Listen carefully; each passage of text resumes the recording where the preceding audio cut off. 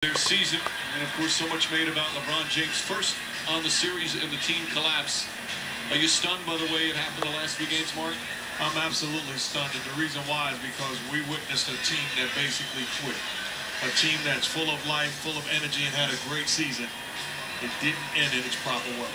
And I think for me, it was more the two home losses. We're really, all three home games, to me, were below average. And, uh, you know, it's not just about LeBron James. All, everyone's only talking about LeBron James, but there are other players who are disappointed, and there are coaches involved, and many families involved. And I, I feel like it's only been about him as, as far as the coverage of what a loss like this can do. It changes many lives, not just his. And the speculation will certainly start about LeBron James and whether or not he will re-sign with Cleveland or go somewhere else. And as Jeff mentions, it could have a huge effect on coaching staff, on front office, on other players. That remains to be seen. So much to happen, so much speculation still to come for the Cavaliers. For the Boston Celtics, an extraordinary performance in this series. They win it in six games. Join us Sunday ABC game.